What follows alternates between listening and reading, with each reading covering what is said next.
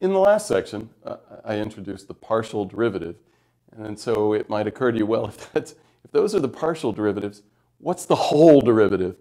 And that's what is answered in this section. There's something called, well, it's not called the whole derivative, it's called the total derivative. It's um, a little unwieldy because it's, uh, the total derivative is no at a point is no longer a number, it's a function. Why is it a function? Well, you think of the partial derivatives as telling you instantaneous rates of change in um, very specific directions as you move in specific directions, like parallel to the coordinate axes, which means you let one variable change and hold all the others fixed. In, for the total derivative, you want to say, okay, I want the derivative at a point, and I want it to tell me the instantaneous rate of change as I move in any direction whatsoever. That means the derivative itself is a function of the direction and the speed. Um, so it's a function of a velocity vector. And so that complicates matters, but not a ridiculous amount. So that's what we're doing. Um, so let me discuss the partial derivative in a way that I didn't in the last section. So suppose you have Let's just take the easy case of a function of two variables. We can do this for any number of variables, but let's, let's look at two. That will be enough. Suppose you want the partial derivative of f with respect to x. All right. Remember, that's the instantaneous rate of change of f with respect to x holding y constant. So in terms of limits, you could do this, you could have done this in calc, calculus 1. We'll take the limit usually used in H in, Cal in Calc 1. I like using a T here because it makes me think of time. You can call it H. You can call it banana. You can call it whatever you want. But take the limit as t approaches 0, f of, you let the x coordinate change, but you keep the y coordinate fixed at y. So this is what the partial derivative is. You take a small change just in the x coordinate, you leave the y coordinate fixed, you divide by the corresponding change in the x-coordinate, and you take the limit as t approaches 0. Great. Well, let's write that in vector-looking terms. This is the limit as t approaches 0 of f of the vector xy plus, well, plus a t0, a t comma 0, minus f of xy all over t. But then you can you can rewrite this part. The vector t0, well, you can pull out the scalar t. So this is t times the vector 1, 0. And 1, 0 is one of our standard basis vectors. We usually call that one i. So this is the limit as t approaches 0 of f of xy plus t times the vector i minus f of xy all divided by t. When you write it like this, it, it's kind of natural to think of the partial derivative as, ah, it's the instantaneous rate of change of f when I'm at the point xy and I move in the direction of the vector i. And in fact, if you recall what we did earlier um, in chapter 1, is t, uh, as t changes, this, xy plus ti, defines points on a line. And um, if you think of t as the time, you could think of this, uh, and you think of this as the position of a particle, then the derivative of, of this part with respect to t is just i, so that if you think of this as the position, its derivative with respect to time would be the velocity.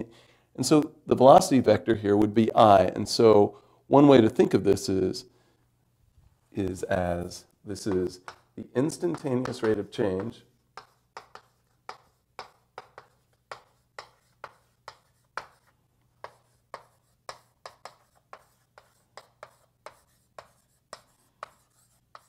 of f at xy when you move with velocity i, or u, or the point when the point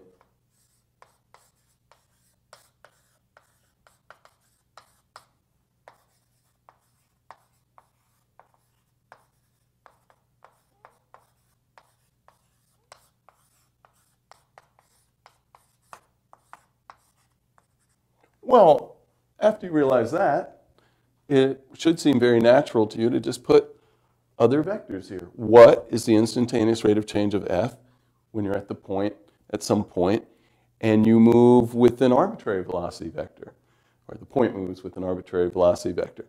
And that's what the total derivative is. So um, you have a function f. It could be a function of any number of variables. You take a point P,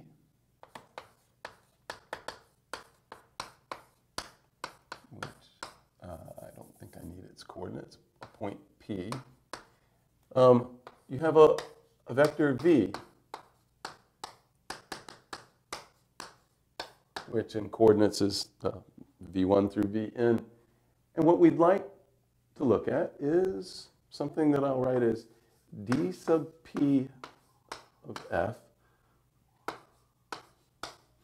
So read this, the total derivative of f at p with respect to the velocity vector v, or you can say in the direction of v, but direction should is defined by a unit vector, and we want to allow for arbitrary velocity. So if you say in the direction of the velocity vector v, you know, that's a little bad.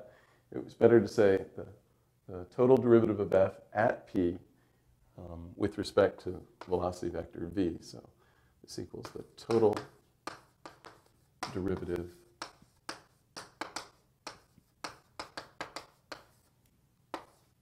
of f at p with respect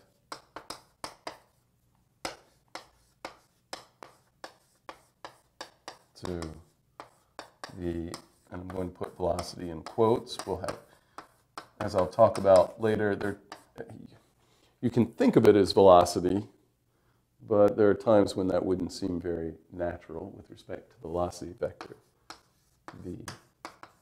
And what we'd like for it to be, or equals, and I need to put this in quotes and say some words about it,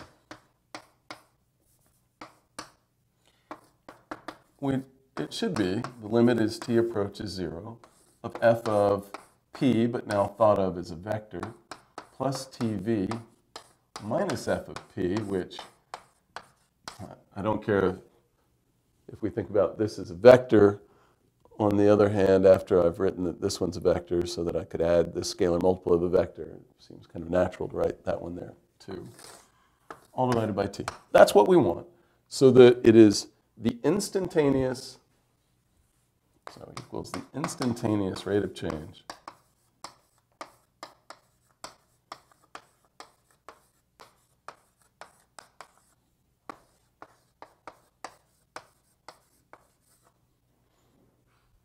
of f at p as p moves with velocity v. Well,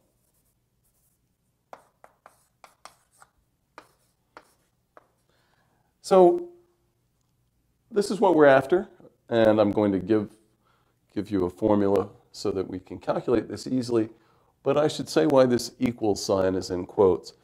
This is not this while it's kind of generally how we think of the total derivative, there's a more technical definition because this has p plus tv as t approaches 0, this approaches p, but it approaches p along the straight line defined, parameterized by p plus tv.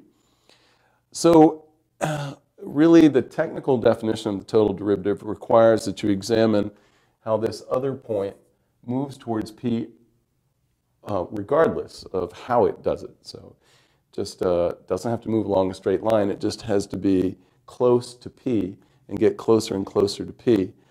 Um, it is not terribly difficult to define it that way. It's a little abstract, a little technical, uh, certainly in the book, um, but I'm not going to do that now. Um, but the reason this equals is here is the existence of this limit is not all that you need for the total derivative to exist. You need for a certain limit to exist regardless of how this approaches p. And this isn't how you would define the derivative, the total derivative, even when it exists, but it's close.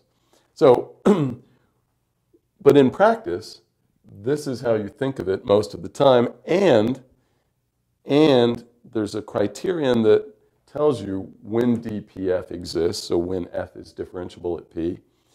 That's what everybody uses all the time, and that one's easy to state. So let me state that theorem.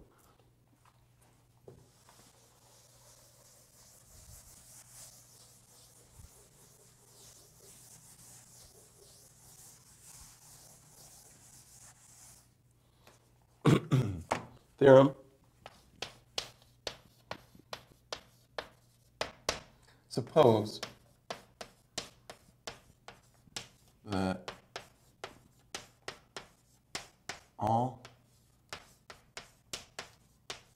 of the partial derivatives of f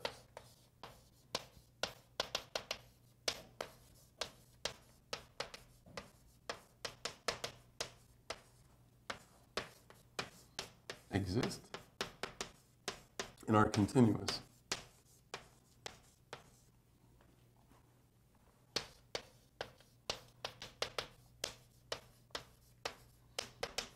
in the neighborhood of P.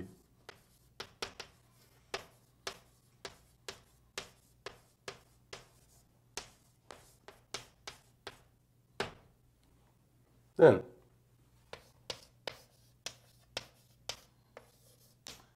the total derivative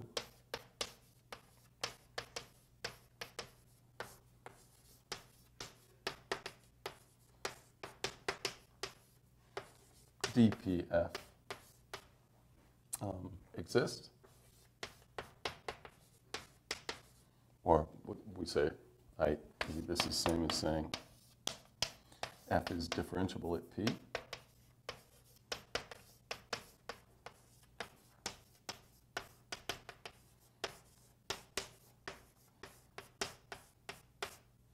And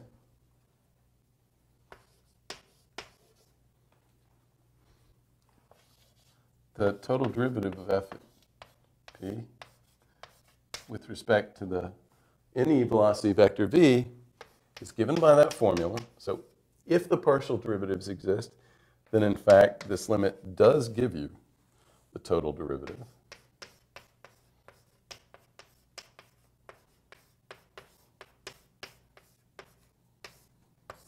And the nice formula for it is that it is the gradient vector of f at p dotted with the velocity vector v. So written out, that means that you take the, all the partial derivatives of f evaluated at p times the corresponding component of the vector v. So it's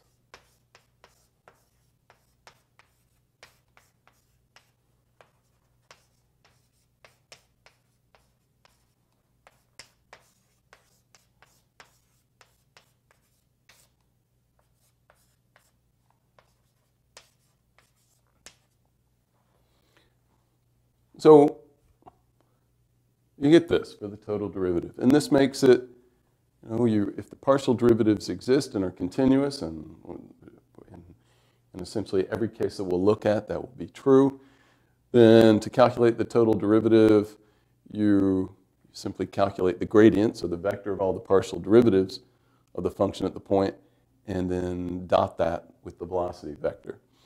Um, we will look at this in the more deeply in the specific case where v is a unit vector in the section on directional derivatives. But right now I just want to do a few basic examples with the, the total derivative. Um, so, basic examples. well, the first one, just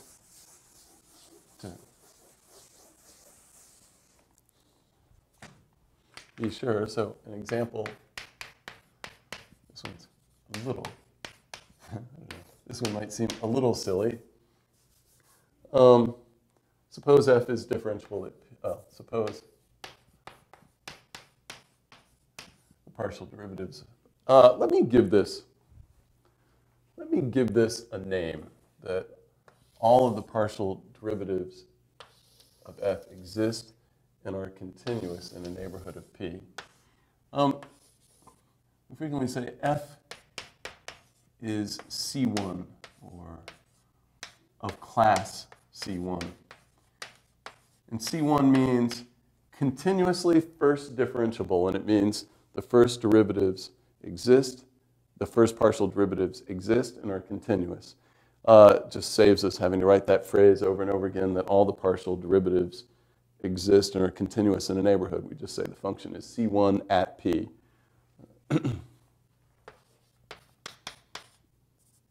at P, when you in this context, means that something happens in a neighborhood of P. So suppose, suppose F is C1 at P. So all the partial derivatives exist and are continuous. Then, then F is differentiable at P by the theorem. And my question is, what is the total derivative of F at P with respect to one of our standard basis vectors, E sub i. So this is the ith standard basis vector, just reminding you.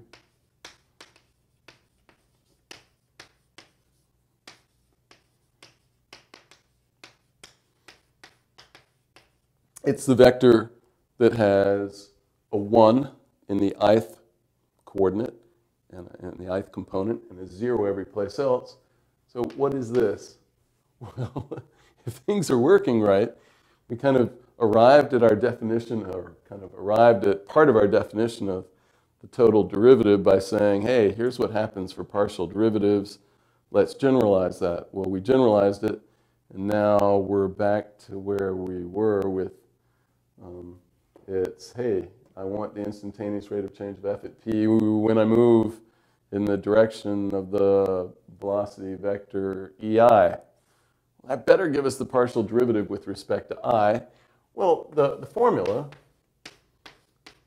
that I wrote is that you should take the gradient of f at p and dot with the velocity vector, which here is ei. This means, course, you're taking the vector of partial derivatives of f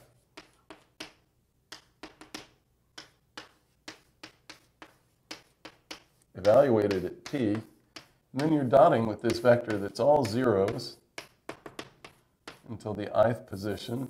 Let me write it zero. And then all zeros after that. Okay, so this is in the ith position.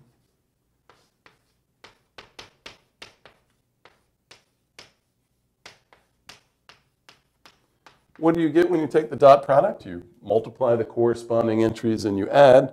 Well, you get zeros every place, except in the ith component where you get 1 times the ith thing here. Well, that's the partial derivative of f with respect to x sub i evaluated at p. Good. Good. This, the total derivative in the direction of one of the, with respect to one of the standard basis vectors by this formula, yes, comes out to be the partial derivative of f with respect to i, or xi. Well, that's good. Um, all right, what's another, what's, what's a new example? Not using this to somehow return to something we've already looked at.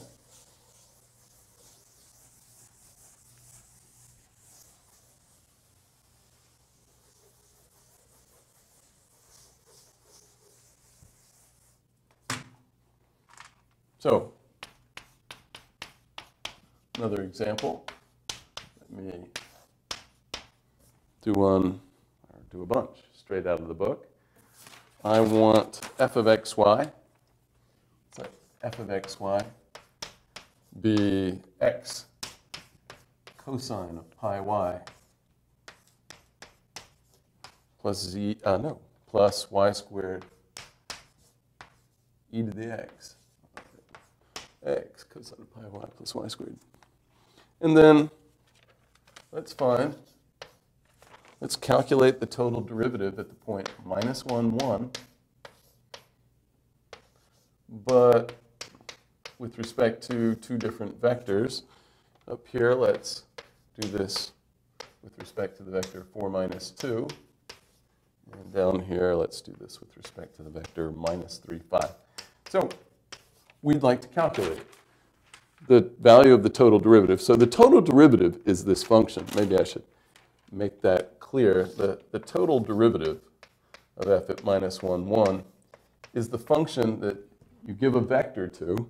So a vector with as many components as the number of variables in f. So this will be a function from R2, and it's giving me back a real number, um, which you can interpret physically as the instantaneous rate of change of f when you're at this point, when you're at the point, in this example, minus 1, 1, and the point is moving with different velocities. Here, the velocity vector 4 minus 2, and here, velocity minus 3, 5. And it, you give it any velocity vector, any pair of real numbers, and it gives you back a real number representing the corresponding instant, instantaneous rate of change. How do you calculate these? Well, the theorem says that uh, certainly all the partial derivatives of this are continuous everywhere. So the theorem says you calculate the gradient of f at minus 1, 1, and dot it with 4 minus 2. And here you take the gradient of f at minus 1, 1, and dot it with uh, minus 3, 5. Well, this means that you, you don't redo this work twice. When you're looking at the total derivative at a point, the gradient vector, if your point stays fixed and your function stays fixed, the gradient vector is staying fixed. So you calculate this once, and then you just dot it with two different vectors to get your result. So we want the gradient vector of f.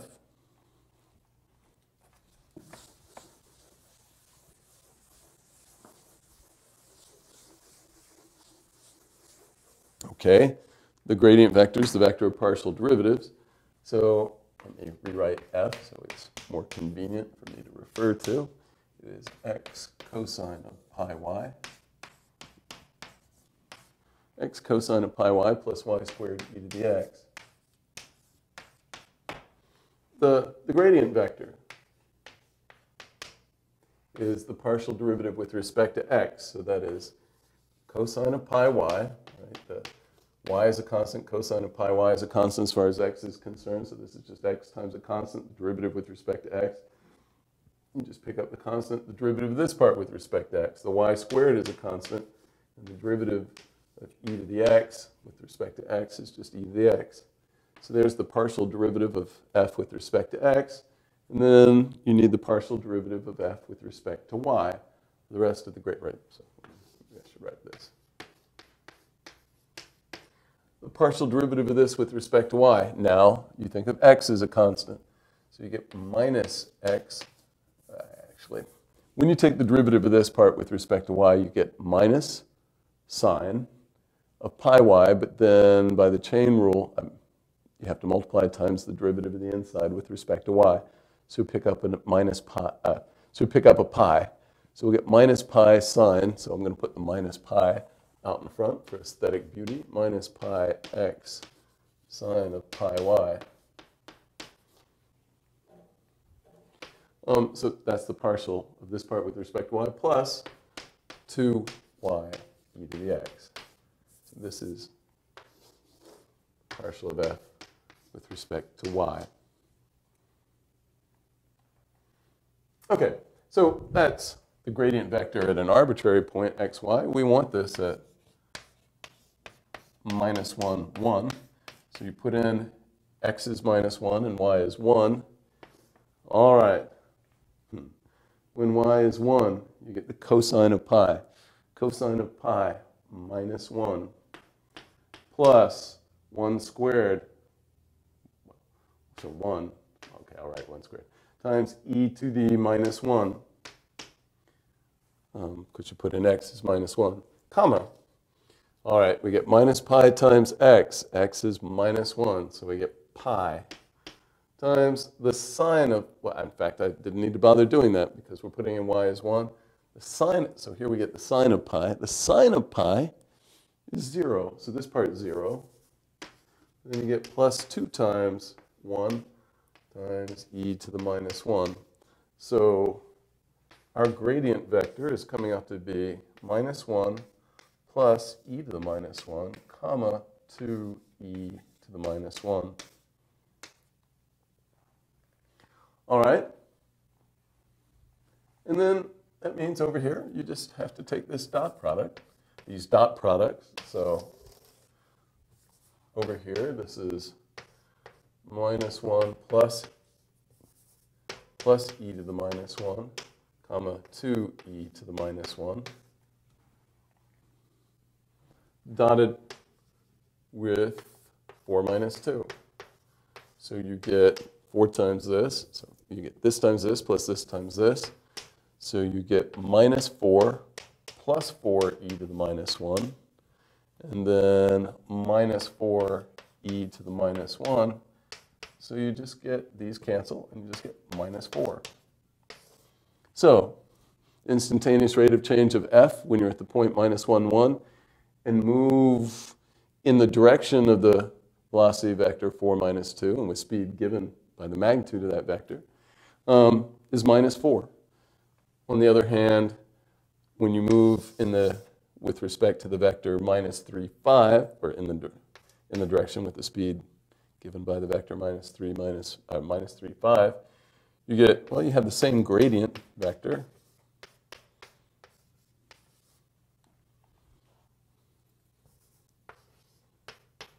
You have the same gradient vector, and it's now just dotted with a different vector, minus 3, 5. You get whatever you get. I don't know, what do you get? You get 3 minus 3e to the minus 1 um, plus 10e to the minus 1. So you get 3 plus 7e to the minus 1. Not as attractive as just getting an integer for an answer, but hey, that's what you get. Um, so that's, a, that's an easy example of calculating the total derivative uh, with respect to a couple of different velocity vectors. What's, um, what's a more interesting example? You could, you, uh, a physical example where you need to know about rates of change.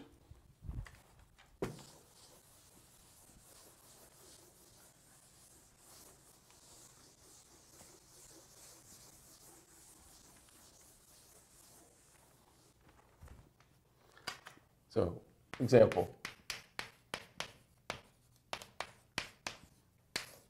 Suppose that space, so xyz space, suppose that space is heated in such a way it's going to take a lot longer to write all these words than it will take to do the problem, but oh well. It's the way it is with word problems frequently. Suppose that space is heated in such a way that the temperature in degrees Celsius um, is given by T x, y, z equals z squared plus 0.5 times e to the x squared minus y squared, um, where x, y, and z are all strictly between minus 2 and 2 and are measured in meters. Um,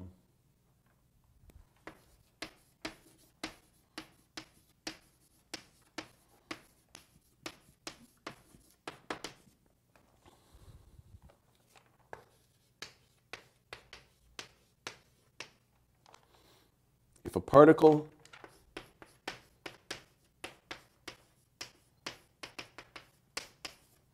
is at the point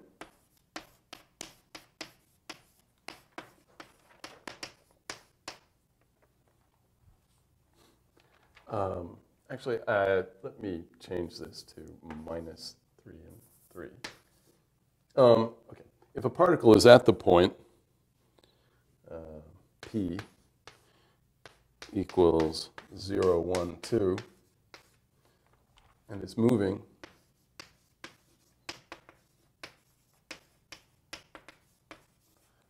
with velocity v equals 3 minus 1, 0 meters per second when not necessarily constantly with that velocity the whole time, but when it's at this point, when at p, at what rate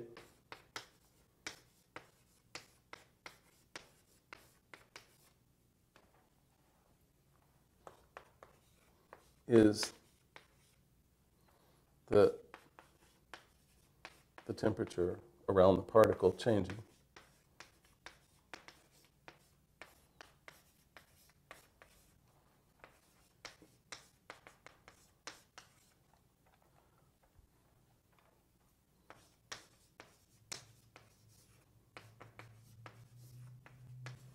So there's the question. Um, it took, it took a long time to write the question, um, but what you're being asked to calculate is very simple and you're, you're set up for it. It is, you're asked for the instantaneous rate of change of the temperature function at the point 0, 1, 2 with respect to, or as, you, as the point moves with, velocity 3 minus 1, 0. So a lot of words to give a physical setting to a mathematical thing that's relatively easy to calculate. We want, we want d sub 012 of t, of the temperature function, at the point, I mean, with respect to the velocity vector 3 minus 1, 0. Well, that's just the gradient you just take the gradient vector of t at 0, 1, 2 and dot it with the vector 3 minus 1, 0. This vector has uniform units, so each, each component has units of meters per second, so the vector has units of meters per second. Um, this is a vector of partial derivatives, and they have consistent units. It's degrees Celsius degrees Celsius per meter. When we take this dot product, we're going to end up with something in degrees. It's the meters will cancel and you end up with something in degrees Celsius per second. So yes, the instantaneous rate of change of the temperature with respect to time, which is what most people mean when they say um, at what rate. If they don't say with respect to what, the default is with respect to time, since everything changes with respect to time we need the gradient of the temperature at the point 102, so you have to calculate some partial derivatives. They're not too bad, they're not too good, but not too bad. The gradient vector t at an arbitrary point, the partial derivative with respect to x, you get um, point, you get 0.5 times um, e to the x squared minus y squared then by the chain rule, you have to multiply times the derivative of this exponent with respect to x. So you pick up another 2x. So the 2 times the 0.5, you'll just get a 1, so that's nice. Um, the partial derivative with respect to y, you get 0.5 e to the x squared minus y squared.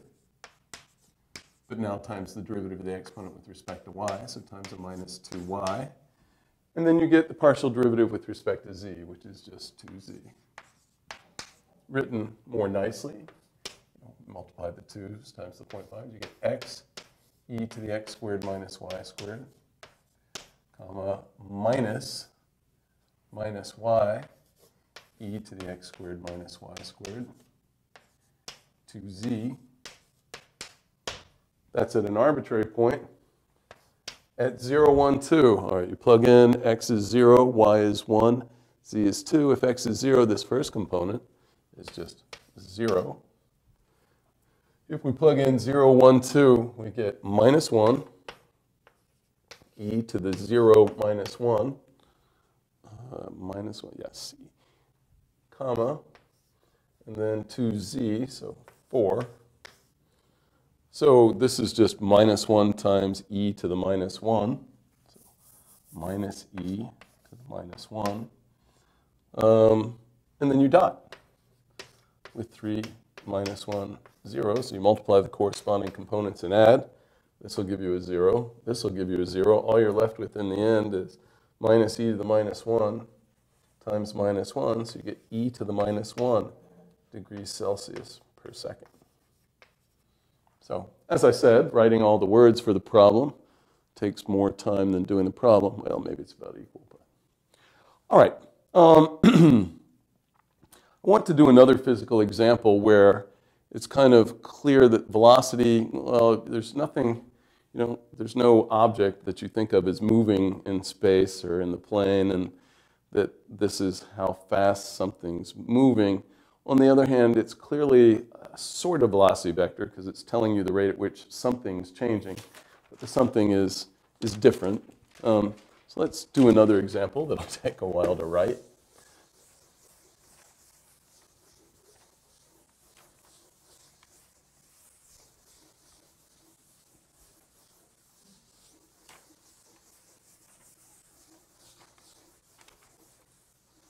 So, suppose a company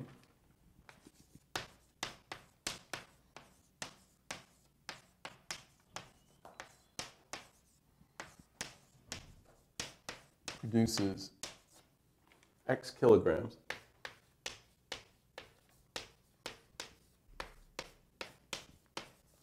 of some chemical A and Y kilograms of chemical B.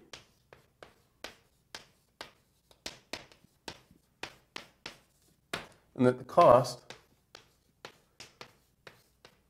of producing these two chemicals, cost of production in dollars,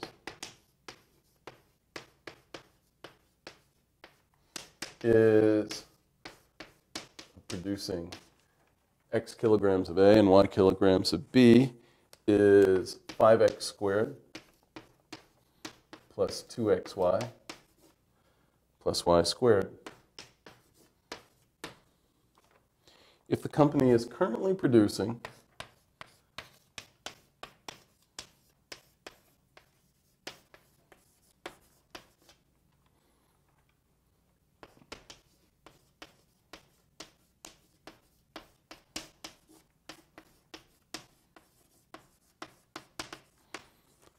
ten, kilogra- 10 kilograms of chemical A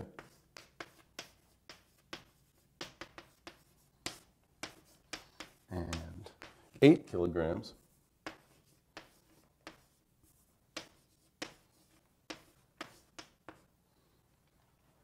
of chemical B.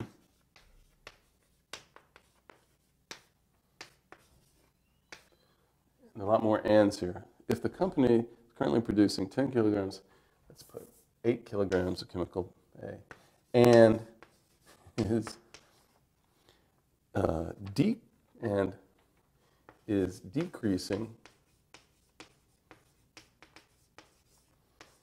the production of chemical A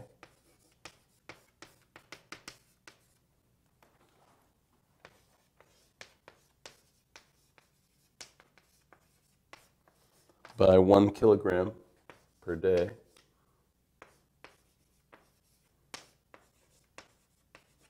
But I mean at an instantaneous rate of one kilogram per day. So you shouldn't really think of this as each day they drop it one kilogram. You know, these are always instantaneous rates of change. Is decreasing the production of chemical by one kilogram per day and increasing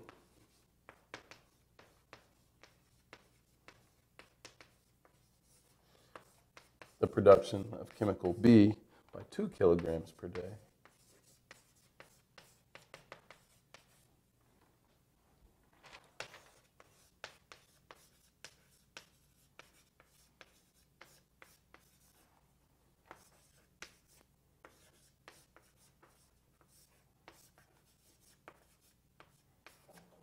How fast? At what rate?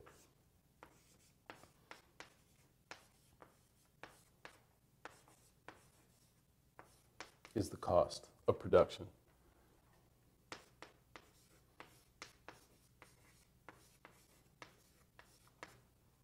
Where, what, at what rate is the cost changing?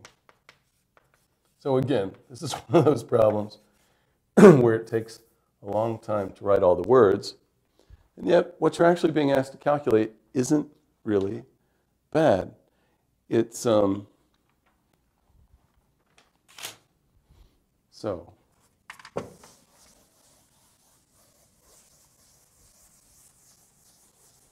So, uh, you don't even need to be paying attention much to notice I'm suddenly wearing a different shirt. We, uh, I noticed, now it's, it's actually the next day from when we recorded the rest of the, the lecture, and um, I noticed that I had transposed two numbers at this point in, in this example. And so I were just recording it the next day and not recording this little bit the next day, and we're not trying to fool you by having me dress the same way and splicing it in. Um, so this was our cost function. This is our cost function um, of producing chemical A and chemical B. And I've summarized on the board the data that was on the other board yesterday that we have 10 kilograms of chemical A, or we're producing 10 kilograms of chemical A, 8 kilograms of chemical B, but we're decreasing the rate at which we produce chemical A by 1 kilogram per day and increasing the rate at which we produce chemical B by 2 kilograms per day. Um, so what we're after is the instantaneous rate of change of the cost of production of the two chemicals. That is the total derivative evaluated at the point 10, 8. So right now we're producing 10 kilograms of chemical A and 8 of chemical B. This is what I transposed yesterday and wrote 810. Uh, the instantaneous rate of change of the cost when you're at the point 10.8, but you move with velocity given by this. Now it's not actual velocity, but it's, uh, you can kind of think of it that way. It's the instantaneous rate of change of your production of the chemicals. You're decreasing chemical A by one kilogram per day. That means the instantaneous rate of change of, of x is negative 1 because of the decrease, while the instantaneous rate of change of y is 2 kilograms per day. So this is what we want to calculate. And of course, it's the gradient of the cost, evaluated at 10, 8, dotted with the vector minus 1, 2. So you need to calculate the gradient, evaluate it the gradient vector, evaluated at 10, 8, and then dot it with minus 1, 2. The gradient vector of c, the vector of partial derivatives, the partial derivative with respect to x, 10x plus 2y, the partial derivative with respect to y, 2x plus 2y. So the gradient of c at 10, 8 is 100 plus 16 comma 20 plus 16. So that's 116, comma 36. The units here, uh, the units on the partial derivatives, they're dollars per kilogram in both coordinates, so that the vector has coordinates dollars per kilogram. And then the total derivative, the instantaneous rate of change of the cost at minus 1, 2 is 116, 36, dotted with minus 1, 2. This, this vector is in kilograms per day.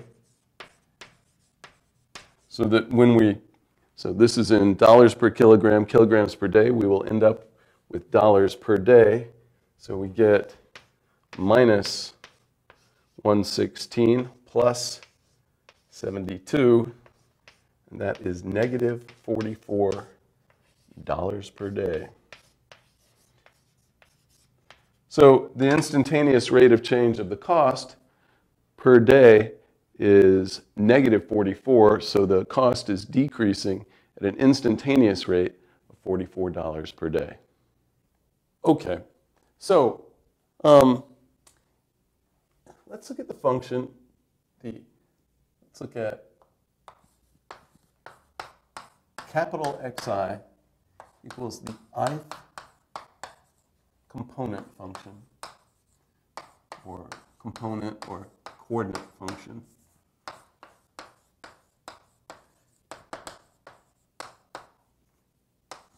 Um, there's a little notational issue here, but go ahead and write it.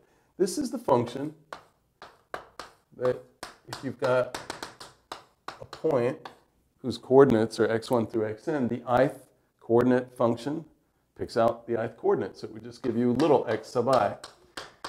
The notational problem here is that a lot of people use little xi to denote this function that I've denoted by capital Xi, um, which means that anytime those people write x1 through xn as the coordinates for a point, they actually mean I have some, they have some point and they've applied, these things represent these coordinate functions applied to that point.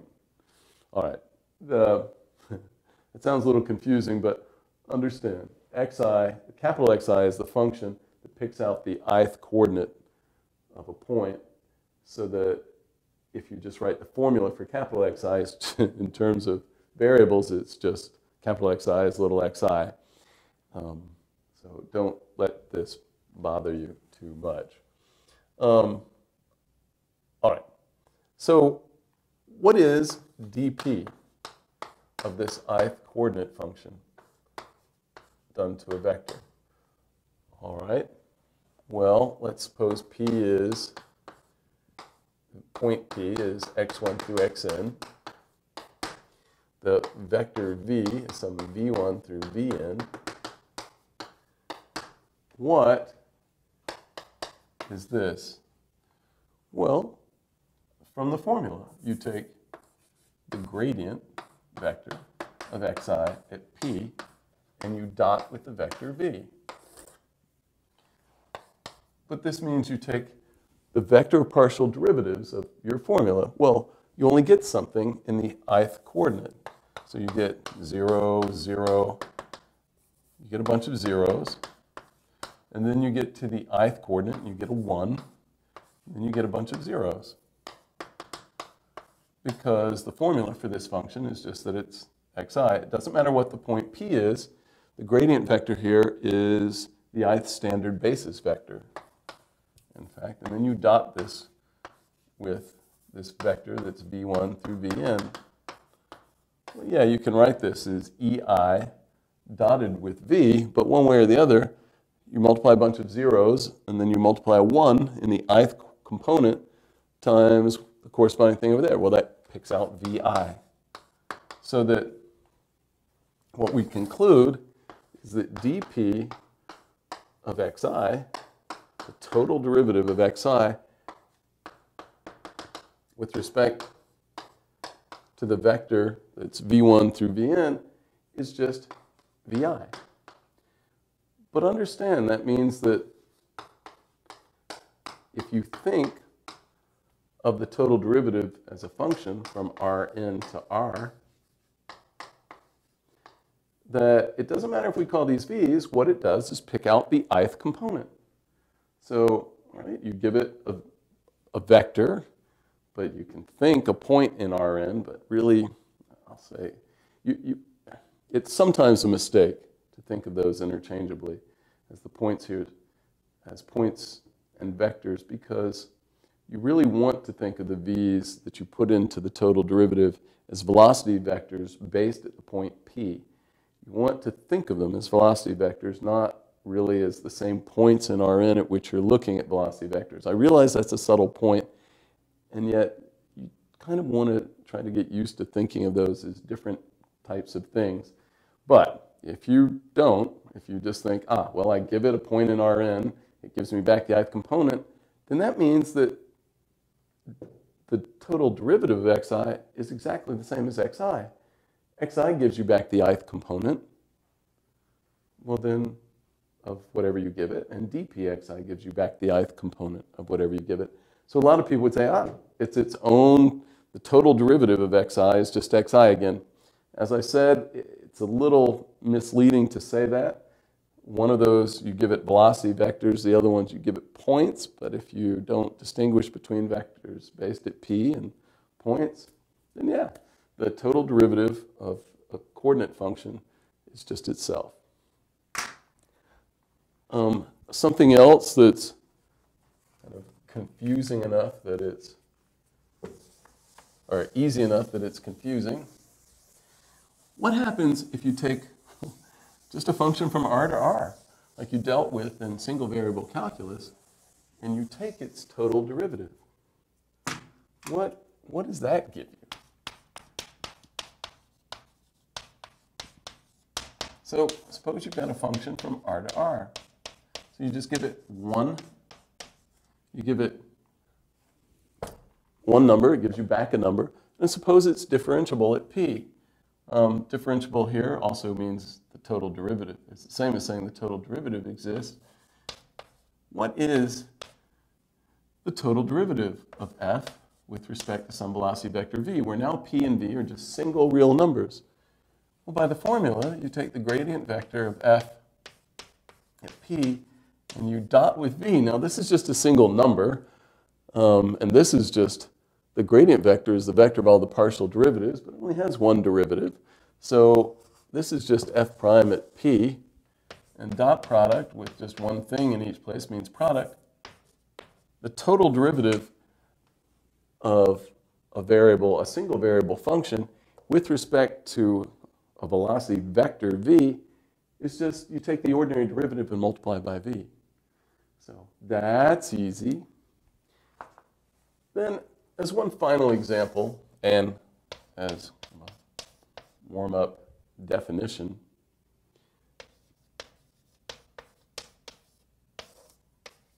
suppose you've got a vector-valued function, um, say from R2 to R3. I'm going to look at a specific one. I want f of f of xy is, well, first of all, I'm going to call the component functions f sub 1, f sub 2, and f sub 3.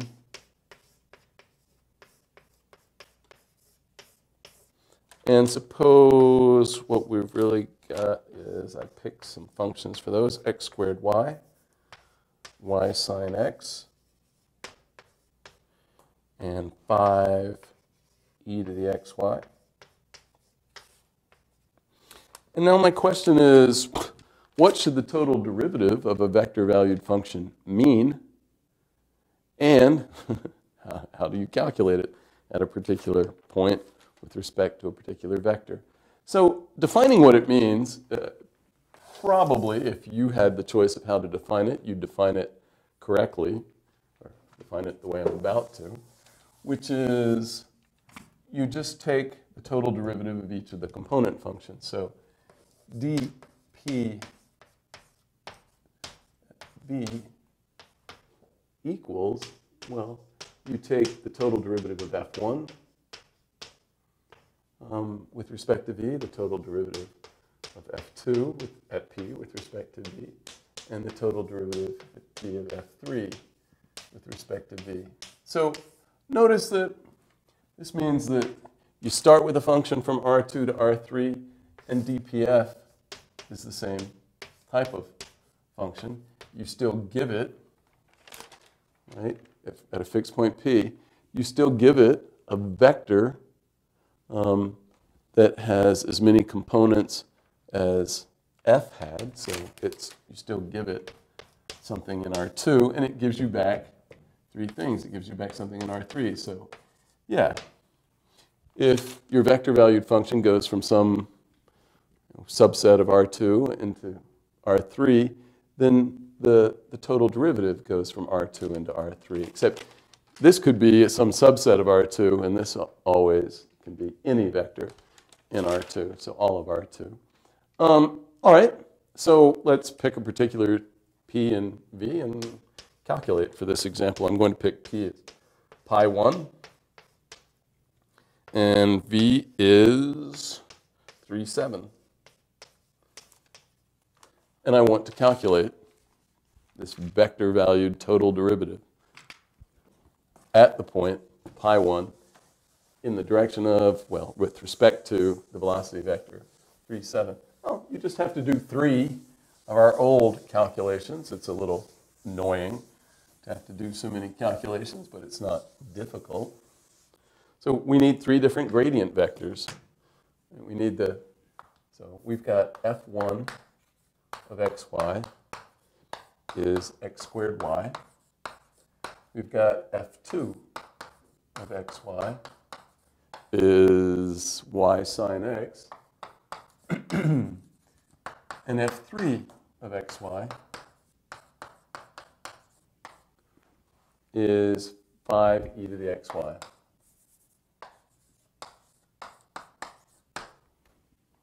All right, we need to calculate the gradient vectors of all of these. So the gradient vector of f1, partial, the partial derivative with respect to x, 2xy, partial derivative with respect to y, just x squared. Um, the gradient vector of f2 is the partial derivative with respect to x, and that's y cosine of x, comma, the partial derivative with respect to y, that's sine of x. And then the gradient vector of f3, it's the partial derivative with respect to x, so we get 5 e to the xy, and then by the chain rule times the partial derivative of the exponent with respect to x. So you pick up times a y. And then the partial derivative with respect to y, 5 e to the xy. Now you pick up an x. So those are the gradient vectors at an arbitrary point, xy. We're at the point pi 1. So pi 1. Here you get, you plug in x is pi and y is 1. You get 2 pi 2 pi pi squared. The gradient vector of f2 at um, pi 1. y is 1, um, x is pi, the cosine of pi is minus 1. You get minus 1. Here you get the sine of pi, that's 0.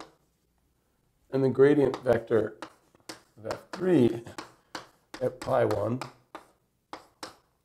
you plug in y is 1 and x is pi, so you get 5 e to the pi. And over here you get 5 e to the pi times another pi. Uh, you can factor out a 5 e to the pi as a scalar multiple times 1 pi. 5 e to the pi times 1 pi. Okay, those are the gradient vectors. So what do you get for the total derivative? Well, see if I can fit it in right here. What do we get for d pi 1 of the vector valued function f at 3, 7? We get a vector with three components, and, and I guess while I was factoring stuff out, I could have factored a pi out of here. This is pi times 2 pi, comma pi. So we get that gradient vector dotted with 3, 7, comma, this gradient vector dotted with 3, 7, comma, and then I'll guess I'll have to go to this next line, comma, that third gradient vector.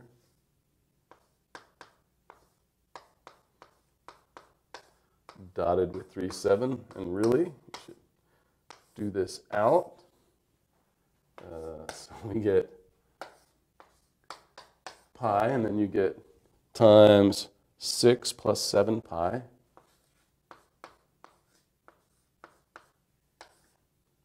comma. Here you just get minus 3 comma. And then you get 5 e to the pi times 3 plus 7 pi.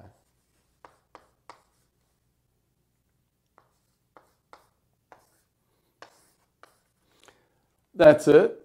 Uh, there are no units here. There were no, this wasn't a physical problem. So that's an example of what you do for a vector valued function. It's just you have to do what you did for a real valued function. You just have to do it as many times as there are component functions in your vector valued function.